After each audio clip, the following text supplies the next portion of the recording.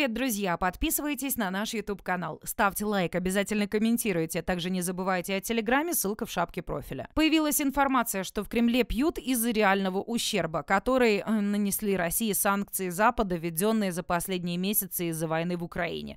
Об этом сообщает российский портал «Медуза» со ссылкой на собственные источники. Хозяин Кремля Владимир Путин все чаще стал сталкиваться с проблемой алкоголизма среди своего окружения и высших российских чиновников. По их данным, дело в том, что российские российские топ-чиновники злоупотребляют алкоголем на фоне войны против Украины. Люди с февраля так снимают стресс. Министры, их заместители, даже некоторые вице-премьеры, работники администрации президента и Совбеза, часть руководителей госкорпораций, губернаторы, рассказывает один из источников.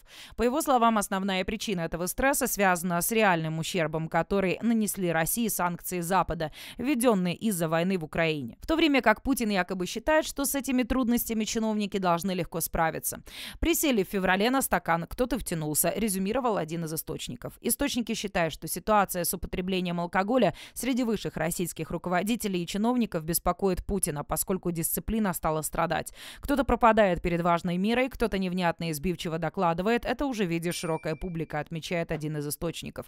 Однако собеседники считают, что Путин не собирается никого увольнять на фоне сложившейся ситуации, мол, пока будут только намеки и мягкие требования. Оно неудивительно, ведь политика кремлевского диктатора уже давно лишена логики и полна цинизма. На этом я с вами прощаюсь. Подписывайтесь на наш канал, жмите на колокольчик, а также не забудьте перейти на наш новый телеграм-канал, странички в ТикТоке, Facebook, ссылки в описании.